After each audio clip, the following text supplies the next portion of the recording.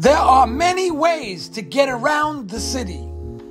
You could take an Uber or a bus or the streetcar or a taxi or a mule and buggy, or you could jump on this contraption with your friends.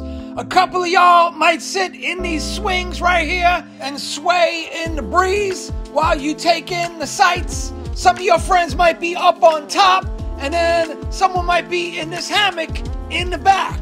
It might take you a hot minute to get where you're going because it's powered by a dude on a bicycle, but at least it'll be fun.